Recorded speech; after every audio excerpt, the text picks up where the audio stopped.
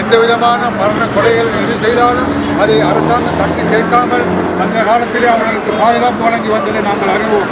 அதே போன்ற ஒரு நிலைமை மீண்டும் இங்கு தோன்றியிருப்பதற்கு காரணம் மைத்திரிபால சிறிசேன ஜனாதிபதி அவர்கள் அண்மையிலே பாதுகாப்பு தொடர்பாக பாதுகாப்பு செயலாளர்கள் அதே போன்று முன்னினால் ராணுவ அதிகாரிகளை நீதிமன்றம் கொண்டு செல்வது அதிருப்தி தருவதாகவும் அது தொடர்பாக தங்களுடைய வெறுப்பை அவர் வெளிப்படுத்துவதாகவும் கூறினார்.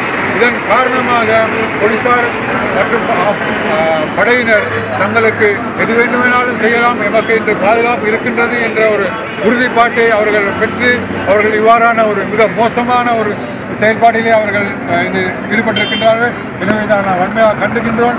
இவ்வாறான மரணங்களை தவிர்ப்பதற்கு ஜனநாயக வழியிலே நாங்கள் தொடர்ந்து போராடுவோம். மக்கள் அனைவரையும் ஒன்று திரண்டு போராட்டத்தில் பங்கெடுத்து இதற்கு எதிரான ஒரு குரல் எழுப்ப வேண்டும் என நாங்கள் அனைவரையும் கேட்டுக்கொள்கின்றோம்.